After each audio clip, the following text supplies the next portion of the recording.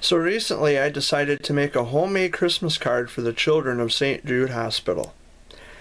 And over time, over the last couple of weeks or so, I had collected some names and uh, gone around and asked several of my Facebook friends if they would like to participate in having their names added to this great big card.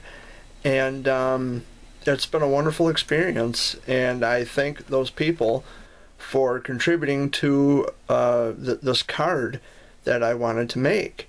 And um, I hope the children at St. Jude will enjoy it too.